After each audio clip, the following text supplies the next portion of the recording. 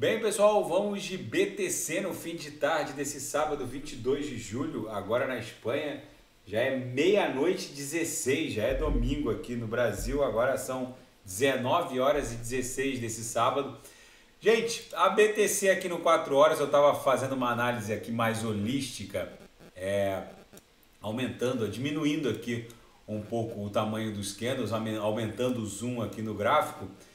A BTC ela tem esse padrão né, de pump espasmódico, longa acumulação, depois promove um pump espasmódico, longa acumulação.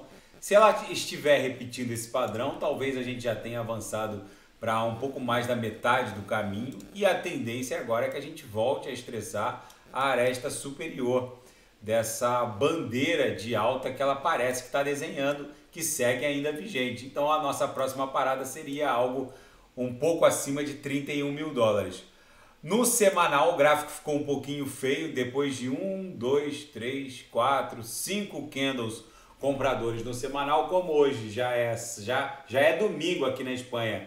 A gente já está no final do sábado aí no Brasil e se encaminhando para a virada da VWAP de domingo para segunda, é muito provável que a gente encerre o desenho desse candle de forma vendedora, mas a tendência de alta no semanal permanece plenamente vigente. Seria preciso que a BTC perdesse 25.800 para a gente revogar a tendência de alta aqui no semanal. E na projeção, apesar desse candle vendedor que deve concluir o desenho é, como vendedor na virada da VWAP de domingo para segunda, na projeção a gente segue ganhando espessura esverdeada, o que denota que os compradores estão fortemente no controle da BTC. O que está aparecendo aqui no gráfico semanal é que a gente está aprisionado ainda nessa cunha triangular de caráter ascendente, com o topo flat, com a, os fundos formando essa inclinação ascendente de 45 graus, e a gente agora vai ficar pipocando entre o patamar de 31 mil e pouco e escalando aqui de baixo para cima a aresta inferior. Parece que é isso que a BTC está desenhando no semanal. No Renko segue vigente os nossos boxes ascendentes, não conseguimos mesmo com toda essa corretiva, a gente não desenhou um box vendedor, seria preciso que a BTC perdesse a mínima de 29 mil dólares, isso não aconteceu, ou seja, segue ainda vigente a nossa tendência de alta no Renko, no box de mil dólares, lembrando que o Renko é um gráfico atemporal, que não tem nenhum compromisso com o transcurso do tempo, mas tão somente com a variação do preço. Então ele retrata de forma muito mais fidedigna a inércia movimentacional. No diário segue vigente aqui a nossa bandeira de alta, está rolando o engolfo aqui hoje, então talvez esse ímpeto vendedor esteja se esgotando. A gente está no primeiro, segundo, terceiro, quarto, quinto, sexto, sétimo, oitavo candle vendedor aqui no diário, então já está na hora da gente voltar a estressar esta superior da bandeira, como eu reportei ali no 4 horas é muito provável que já no começo da semana a gente inicie essa pernada até 31 mil dólares. No intraday, a BTC tá um reloginho, basicamente deu bons trades hoje. Batia na upper, voltava para ver o up, batia na lower, voltava para ver o up, bateu na upper, voltou para ver o up. O nosso sinal tá quase fechando.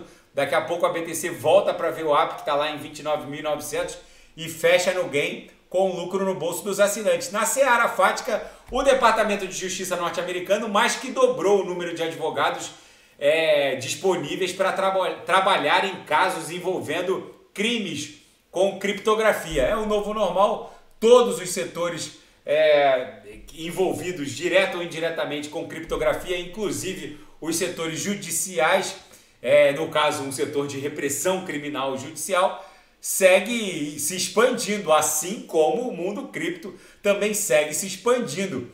E uma pesquisa inédita conduzida e encomendada pela CryptoVantage é, reporta que a Bitcoin vai alcançar a sua máxima de todos os tempos em 69 mil dólares este ano, segundo 23% dos entrevistados. A pesquisa ocorreu nos Estados Unidos com residentes essa pesquisa deu conta de que 70% dos entrevistados acham que a BTC só vai alcançar a máxima de todos os tempos no pós-halving, né, até 2025. Mas enfim, se 23% acham que a BTC vai alcançar vai ultrapassar os 69 mil ainda esse ano, já é um bom sinal. E na seara geopolítica e finanças internacionais, o Fed se prepara para mais um aumento da taxa básica de juros na reunião que vai acontecer agora essa semana, entre os dias 25 e 26 de julho.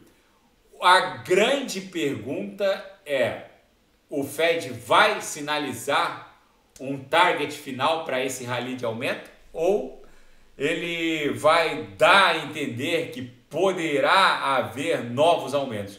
Os principais bancos centrais do mundo também se reúnem nessa semana para definir a respectiva política monetária. E tudo depende do que o Fed vai decidir.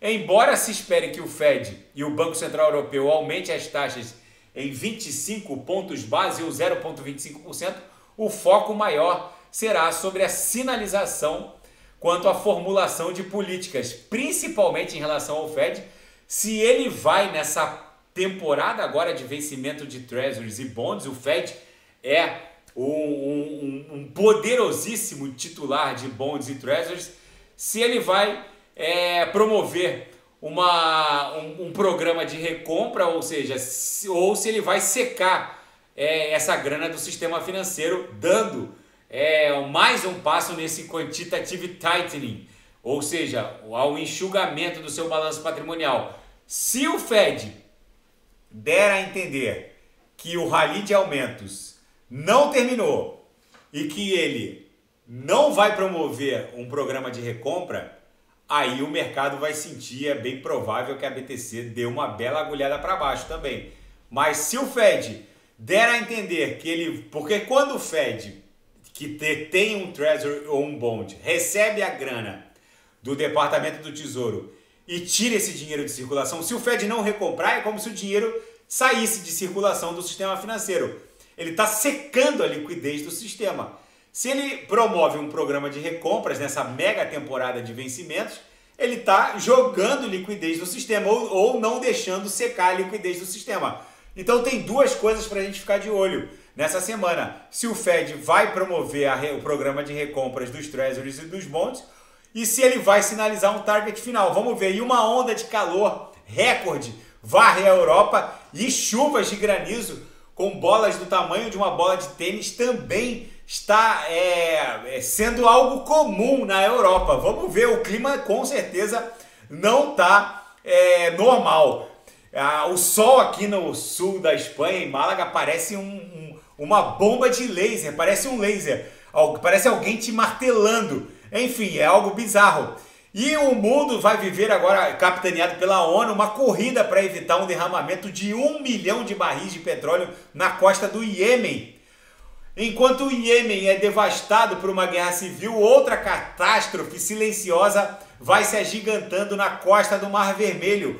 Um navio tanque enferrujado, abandonado, vendido ainda na década de 80 pela ESSO, vendido pela ESSO para Yemen Oil e Gás, acabou sendo capturado por forças rebeldes e depois abandonado.